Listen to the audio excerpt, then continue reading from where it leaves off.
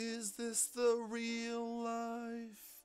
Is this just fantasy? Caught in a banslide, no escape from finality. Stop my demise, look up to the skies and see. I'm just a poor tib. I need your sympathy, cause I do not hack, do not know why I'm banned, even so.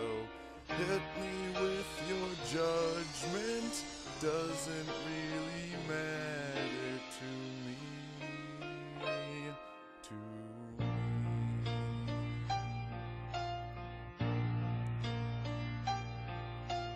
Tibby just killed the man. Put a bow against his head.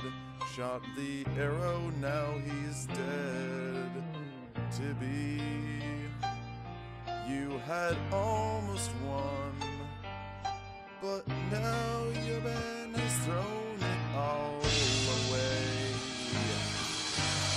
Barrow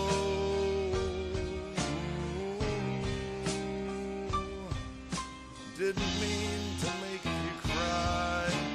If I've not been unbanned this time, tomorrow, carry on, carry on, as if nothing really matters. You're a boy, Tibby.